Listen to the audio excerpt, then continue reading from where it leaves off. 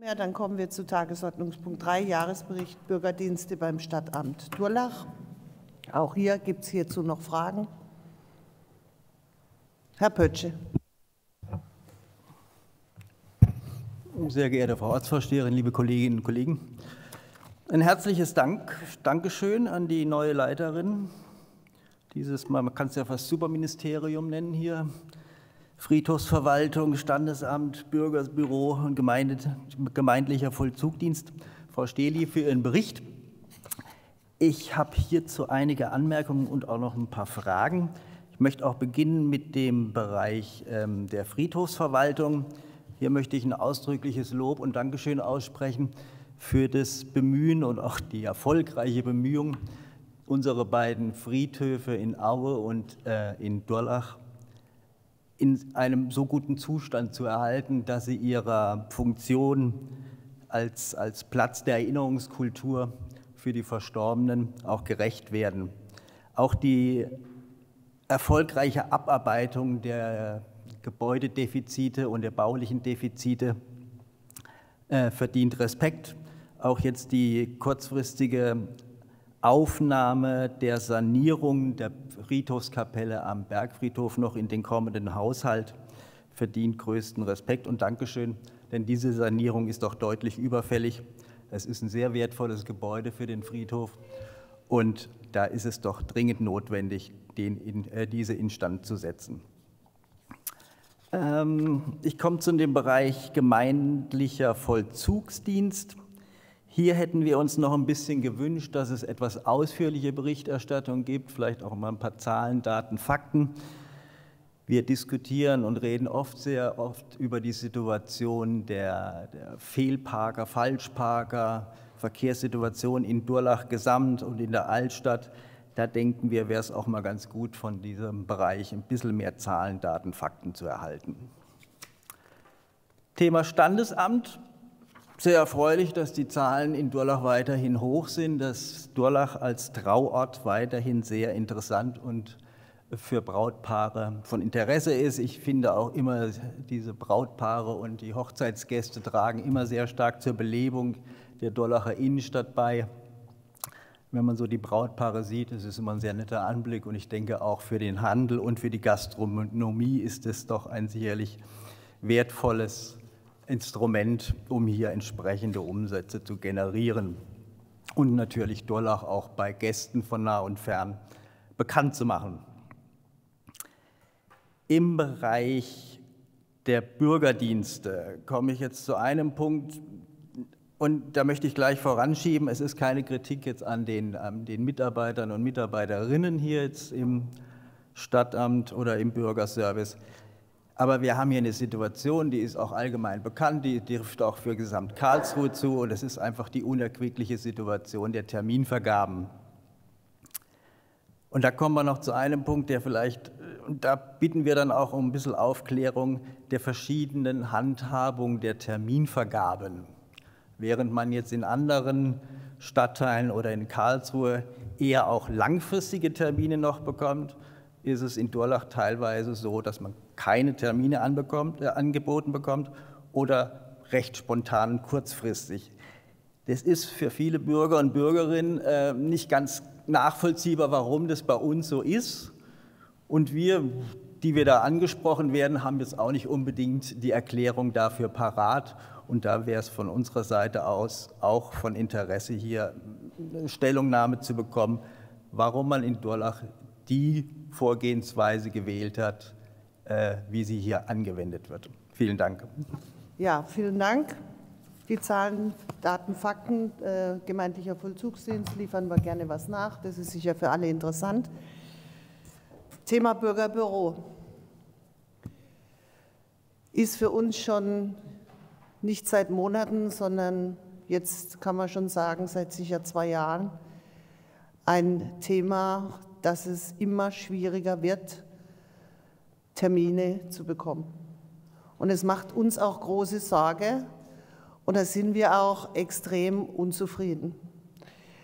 Will es aber insofern erläutern, das ist kein Problem der Durlacher Bürgerbüros, das ist ein gesamtstädtisches Problem. Wir haben zu wenig Personal, zu wenig offene Schalter, um eben alle Anliegen zeitnah bearbeiten zu können.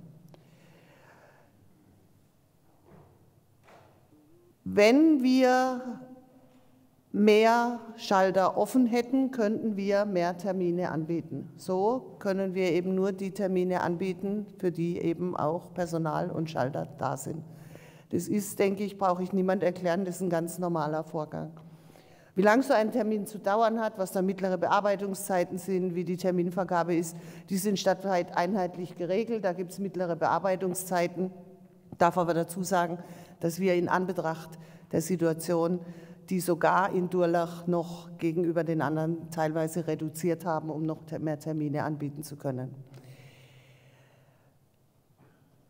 Man kann, wir haben uns damals entschlossen, auch in das Online-Terminvergabe mit einzusteigen, als will ich mal sagen, mittelgroßes Bürgerbüro. Das heißt, dass wir auch den Service anbieten, wie das die Kaiserallee 8 macht und die, äh, das Bürgerbüro in Haxfeld ähm, und auch in diese Terminsoftware und die äh, Terminvergabe mit einzusteigen.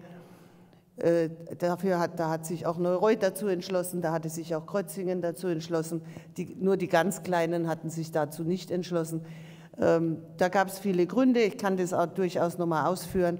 Es war, äh, wenn man sich erinnert, dann auch damals auch eine sehr, sehr große Unzufriedenheit, dass man stundenlang wartete und dann vielleicht nicht mehr dran kam oder schon morgens ins Bürgerbüro gegangen ist und um neun schon keinen Zettel mehr abbekommen hat.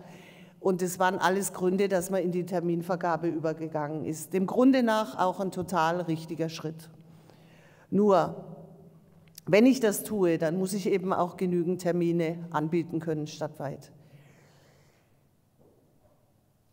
Wenn wir allerdings die Online-Terminvergabe machen und auch über die 115 in Durlach Termine gebucht werden können und wir nicht nur Termine für uns selbst vergeben, uns wir also öffnen als Durlach, dann kommt es zu einer Situation, dass viele, die nicht aus Durlach sind, sich hier einen Termin ergattern, weil es eben jemand egal ist, ob er durch die Stadt fährt. Und die aktuelle Situation, ich habe sie mir heute noch mal geben lassen, 70 Prozent der Kunden im Durlacher Bürgerbüro sind Kunden aus der Kernstadt und nicht aus Durlach. Das heißt, und das ist eine große Unzufriedenheit, ich verstehe die völlig, dass nur 30 Prozent der Termine wirklich für die Durlacher und Auma zur Verfügung stehen. Und das erklärt alles. Jetzt kommt es noch dazu, es kann ja viel mehr auch schriftlich jetzt gemacht werden in Pandemiezeiten. Wir haben uns da ja geöffnet dass die Backoffice-Arbeiten dadurch auch zugenommen haben. Das ist auch wichtig, das ist auch richtig, so soll es ja auch sein. Und was ich heute auch erfahren habe, wir kriegen jetzt auch die schriftlichen Anfragen in großem Maße aus ganz Karlsruhe, weil unsere Bearbeitungszeiten im Vergleich noch bei eineinhalb Wochen liegen, was äh, immer noch weit unter manchem anderen Schnitt liegt. Jetzt machen wir uns schon lange Zeit Gedanken, was können wir tun. Wir selber in dem ganzen Verbund Bürgerbüro, Bürgerservice Karlsruhe sind natürlich nur ein vergleichsweise kleines Rädchen. Wir könnten drei Schalter mehr machen, ja, dann hätte man noch ein paar Termine mehr. Das ist zu lösen über eine höhere Anzahl offener Schalter im gesamtstädtischen Bereich. Wenn die K8 nur die Hälfte ihrer Schalter besetzt hat, dann fehlt da eine unglaubliche Kapazität. Wir könnten auch, aber das hat sich auch in diesem Gremium, wir haben uns dagegen entschieden, wir könnten konsequent sagen, wir bedienen im Durlacher Rathaus nur noch Durlacher und Auma. Und gehen aus der Online-Terminvergabe raus, lassen auch die 115 nicht mehr einbuchen für ganz Karlsruhe, also separieren uns zum gewissen Grad dann müssten wir vielleicht ein bisschen mehr Personal einsetzen für unsere eigene Telefonnummer. Dazu kann ich sagen, da sitzt eine Person, die nur für die Terminvergabe Bürgerbüro ist. Die Telefonleitungen reißen teilweise sogar schon ab. Und es gibt eine unglaubliche Unzufriedenheit der Bürgerinnen und Bürger, die da nicht durchkommen. Also wir müssten vermutlich zwei bis drei Leute in eine Hotline setzen, eine eigene 115 machen, um dann und dann zu separieren, die Anrufenden zu fragen, wohnen Sie in Durlach oder Aue? Dann kriegen Sie einen Termin im Durlacher Bürgerbüro. Dann könnten wir zu 100 Prozent die Terminvergabe für die Durlacher und Aumer machen. Da haben wir uns hier dagegen entschieden. Ansonsten sehe ich nur die Möglichkeit, dass wir insgesamt äh, ein, äh, mehr Kapazitäten kriegen oder die Wartezeiten werden länger. Warum kann ich jetzt äh, teilweise in Karlsruhe in der K8 auch noch einen Termin kriegen in acht Wochen? Äh, das ist seit kurzem umgestellt, es ist noch nicht so lang, dass man in Karlsruhe in der K8 auch über acht Wochen Termine vorvergibt. Wir sind noch bei vier Wochen, da kann man sicher drüber reden, das auch auf acht Wochen hochzusetzen. Wir sind noch bei vier Wochen, weil es ein ganz klares Bild gibt. Je länger die Terminvergabe im Vorlauf ist, desto weniger, geringer ist die Termintreue und desto mehr Luftzeiten produzieren wir, wo dann jemand zum Termin nicht kommt, weil er jetzt einen Termin in acht Wochen hat und dann kriegt er vielleicht doch noch einen, in Haagsfeld zum Beispiel, in vier Wochen, dann nimmt er den wahr und sagt vielleicht nicht ab. Das heißt, der, die Leerlaufzeiten erhöhen sich. Das ist immer eine Abwägung, wie, wie wir damit umgehen. Wir machen uns tagtäglich darüber Gedanken, ähm, kann man sicherlich ausprobieren. Ein Tipp, den man ja fast in der Öffentlichkeit aber gar nicht sagen darf. Warum kann man dann als mal kurzfristig noch einen Termin kriegen? Weil wir jeden Morgen um acht nochmal eine Linie freischalten, wenn morgens klar ist, dass alle Mitarbeiter da sind. Und das ist dann sozusagen die, die, der Notfallschalter, wo man dann auch noch am gleichen Tag einen Termin kriegt. Was allerdings natürlich nicht geht, weil es, sitzt, es sind ja alle sind ja eingebunden. Das heißt, ich muss immer, ich muss immer natürlich auch damit rechnen, dass mal jemand ausfällt, dass mal jemand krank ist. Und dann hätte ich den ganzen Tag mit Terminen voll gebucht, schon längerfristigen Termin, wartet einer vier Wochen auf seinen Termin, kommt dann aufs Rathaus und man sagt zu ihm, Edgebetsch, das klappt heute nicht, die Kollegin ist krank. Deswegen halten wir diese eine Schlange bis am Tag, am gleichen Tag vor und Punkt morgens wird es dann, wenn, wenn alles komplett ist, wird dann auch diese dieser Terminal freigeschaltet und man kann dann kurzfristig Termine kriegen. Dafür sind allerdings, muss ich sagen, unsere Kundschaft ist da sehr dankbar. Das sind nämlich auch schon viele Notfälle gelöst worden. So. Das vielleicht von meiner Seite dazu. Wir sind überhaupt nicht glücklich mit dieser Situation und ich bin äh, um jede Unterstützung dankbar. Ich glaube, aus meinen Worten ist aber auch klar herausgekommen, dass es ein gesamtstädtisches Thema ist. Wir sprechen auch viel Ortsvorsteher untereinander und auch mit der Leitung Ordnungsamt, auch mit den Dezernenten. Bisher haben wir da noch keinen Lösungsansatz bekommen. Ist es für dich soweit okay? Herr Dr. Noe. Ja, vielen Dank für den vorgelegten schriftlichen Bericht und auch für, jetzt für den, äh, die mündlichen Ausführungen der Ortsvorsteherin. Ich habe vielleicht noch einen Aspekt, den wir vielleicht noch kurz beleuchten könnten. Ähm, und das ist das Thema Digitalisierung von Bürgerdienstleistungen. Ich weiß, dass wir hier in Durlach immer ganz vorne dabei waren, neue Sachen auszuprobieren. Nicht umsonst haben wir hier jetzt auch die, die, die Videoübertragung der Sitzung. Und ich weiß, dass, ähm, dass das Stadtamt hier immer ganz vorne dabei ist und in allen äh, in allen Bereichen der Gesellschaft sehen wir, dass die Digitalisierung einen Schub bekommen hat. Nur ich habe das Gefühl, in der Verwaltung bei diesen Sachen leider nicht. Wie sieht es denn da aus? Gibt es da Gruppen, dass wir da vorankommen? Äh, das war bisher immer super. Ich kann mich nur erinnern, äh, es gab ein digitales Bürgerbürochen im Rathaus, was irgendwie glitzernd war, was aber eigentlich gar nichts abgeworfen hat. Ich kann mich erinnern an Sonntagsreden bei der Eröffnung im Bürgerbüro Ost, wo gesagt worden ist, Digitalisierung ist ein ganz fester Pfeiler. Was ist denn daraus geworden? Ich bin mir sicher, da geht es in Durlach voran. Da kann ich durchaus im Namen der Stadt Karlsruhe sagen, dort, wo es möglich ist, wird es umgesetzt und wird auch sehr schnell umgesetzt. Da sind wir eher an, an, an Landesgesetzgebung, an, an gesetzliche Vorgaben gebunden. Aber dort, wo es möglich ist, wird es umgesetzt. Und wir sind teilweise auch schon so weit gegangen, dass man, ich sage mal, aus so Grauzonen ist, ist man schon auch in entweder äh, in digitale Form oder in Papierform gegangen. Äh, also da wird, glaube ich, alles äh, versucht, ähm, was geht.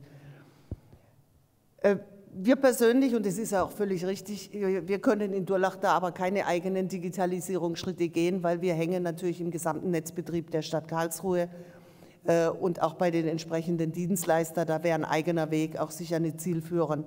Allerdings, wir gehen einen neuen Weg und sind insofern auch in dem Bereich Pilotamt. Ähm, deswegen ist gut, dass Sie es nochmal gesagt haben.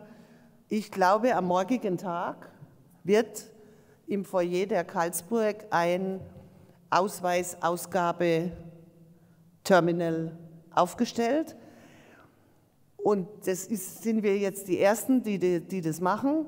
Das hat, wir haben da 22 Fächer und ersparen dadurch bei der 22 Termine auf dem, auf dem Bürgerbüro, um die Ausweise abzuholen, weil sie dort eben natürlich auch mit App oder QR-Code oder was immer das geht, dann der Bürger und zwar morgens schon von 8 Uhr bis, die Karlsburg ist ja häufig auch bis 22 Uhr offen, dann seine Dokumente abholen kann. Also den Weg, wir, wir sehen, wir versuchen alles, um äh, ja, die Termine äh, sinnvoll zu nutzen. Aber das sind ja ganz tolle Nachrichten, vielen Dank. Er wird morgen aufgestellt, ist aber noch nicht in Betrieb. Da sind wir wieder abhängig von der IT, aber der Herr Rössler ist äh, mit Volldampf dran. Frau Dr. Klinger. Ähm, zwei Dinge, nur noch mal eine kurze Nachfrage. Vielleicht hatte ich das auch nicht richtig mitgekriegt. Ähm, sind so wenig Schalter besetzt, weil die Stellen fehlen oder sind so wenig Schalter besetzt, weil die Stellen nicht besetzt sind? Wenn ja, warum sind die Stellen nicht besetzt? Das Zweite, Sie hatten auf der einen Seite gesagt, es gibt mehr Backoffice-Arbeit als vorher. Und wenn wir dann Termine vergeben und die Leute kommen nicht, dann haben wir Leerlaufzeiten. Die kann man ja eigentlich für die Backoffice-Arbeit nutzen, theoretisch. Ja, aber das sind dann immer fünf oder zehn Minuten. Wir, wir reden hier über Situationen, dass wir fünf, wir, wir, da sitzt keiner mehr eine halbe Stunde. Die, ich glaube, die, die, die größte mittlere Bearbeitungszeit ist eine Viertelstunde. Normalerweise sind es fünf Minuten Termine und zehn Minuten Termine. Und jetzt, es kommt einer nicht, dann wartet man eh noch die fünf Minuten, dann sind sie aber rum. Also äh, klar, klar wird es dann gemacht und versucht und äh, die, die, kämpfen dann schon, aber die, die Lösung des Problems ist es natürlich nicht. Ja. Ähm, was war die erste Frage nochmal? Die Stellen. Anzahl der, genau. Beides, es ist beides. Ähm, für uns kann ich reden, wir haben jetzt alle Stellen besetzt, bis auf eine Krankheitsvertretung. Wir haben Stellen, haben die Stellen besetzt, also wir bräuchten de facto mehr Stellen. Ähm, teilweise ist es aber auch so, dass die Stellen da sind und nicht besetzt sind. In Karlsruhe, aber das kann situationsbedingt bei uns natürlich auch immer wieder vorkommen. Äh, jetzt in Corona-Zeiten, klar, ähm, jemand in der Schwangerschaft darf er nicht in den Publikumsverkehr, muss er in Homeoffice, gut, dann kriegt er aber Backoffice-Arbeiten zu Hause, ist auch wieder klar. Dann wechselt jemand, dann muss man sich auch vorstellen, das ist ja keine Arbeit, äh, wo Sie draußen von, sage ich mal, von der äh, Schlange, äh, Stange Personal einkaufen können. Die müssen ja eingelernt werden.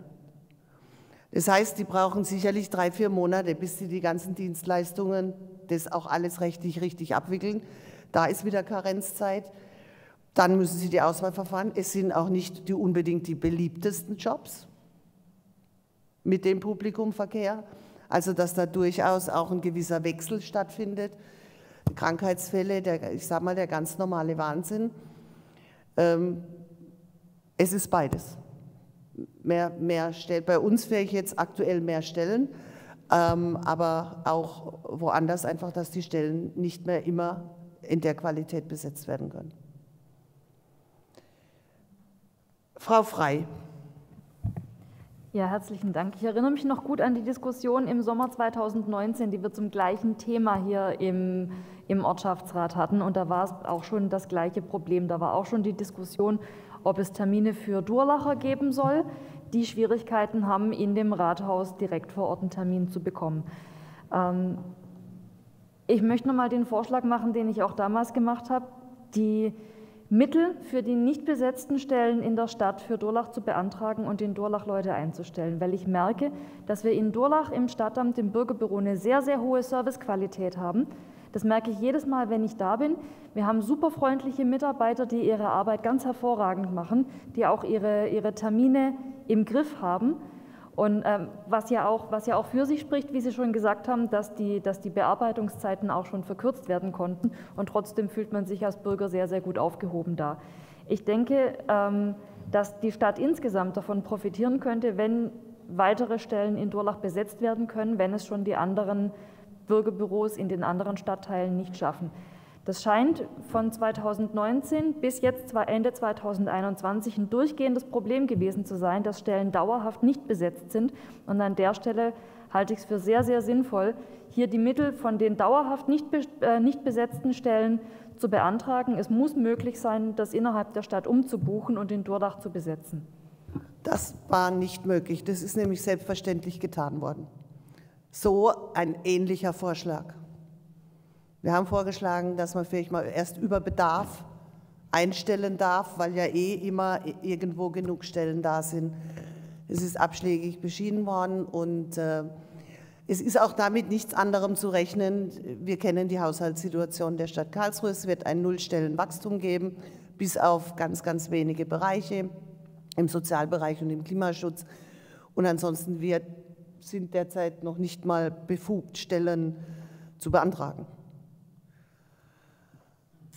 Ähm, will, will vielleicht noch eins zum Service sagen. Wenn dann tatsächlich jemand, der 30 Prozent Durlach hat, die einen Termin ergattern, offensichtlich sind da die Karlsruher Fixer bei 70 Prozent, egal. Wenn denn mal jemand einen Termin ergattert hat, dann beträgt derzeit die durchschnittliche Wartezeit drei Minuten. Also das heißt, rein, man kommt ran und man kann wieder raus. Also der Service stimmt offensichtlich. Ganz aktuelle Zahl auch. So, ich habe dann keine weiteren Wortmeldungen mehr. Gerne, wenn jemand eine gute Idee hat, bitte, wir, das ist uns auch ein Anliegen, äh, dass wir da Veränderungen schaffen.